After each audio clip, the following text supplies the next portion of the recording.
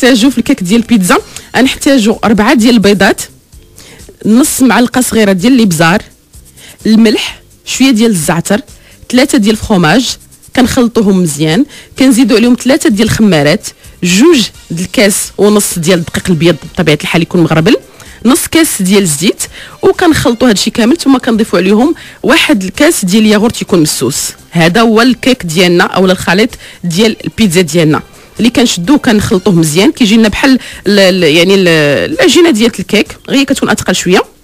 كناخذوا ال moule العجيب اللي كاينة الصورة ديالو نزلنا لكم على الصفحة الرسمية البرنامج أسرة sur شذى اف ام كندهنوا شوية ديال الزبدة وكنرشوه بشويه ديال الدقيق وكنسفو فيه شوية ديال الفخوماج يعني باش هكا كيعطي منظر وكنصبوا فيه الخليط ديالنا فهو كيجي قاصح شوية.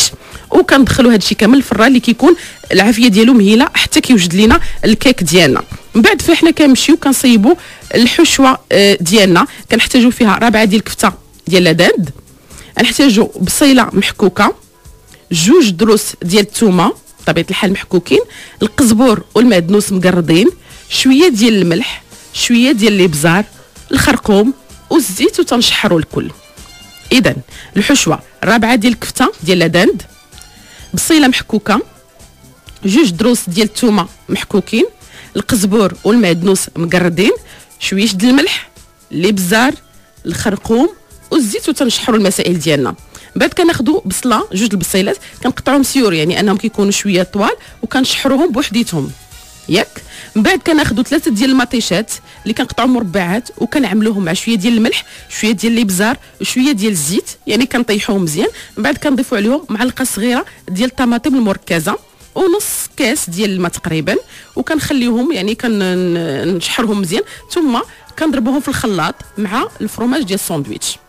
ها la sauce ديالنا وجدات يعني ملي كنخلطوها بحال هكا كنقدروا نعاودوا نردوها كتخثار لنا شوية في في casserole ملي كتوجد كنحتاجوا كذلك كمية ديال الكاشير وكمية من الزيتون الأسود مقطع.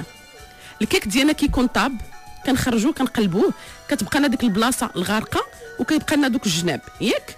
كنديرو كنديرو ديك la sauce ديال المطيشه كنديزو عليها من بعد الحشوة ديال الكفتة الزيتون الكاشير فروماج محكوك وكندخلوها نردوها للفران باش أنها كتعطينا واحد شوية ديال المنيضر يعني أنها كتحمر شوية. تنخرجوها كنزينوها بالخطوط ديال المايونيز والخطوط ديال الكيتشوب وكنقدموها بالصحة والراحة. هذا هو الوصفة اللي عطاتنا آه، أمينة الكيك ديال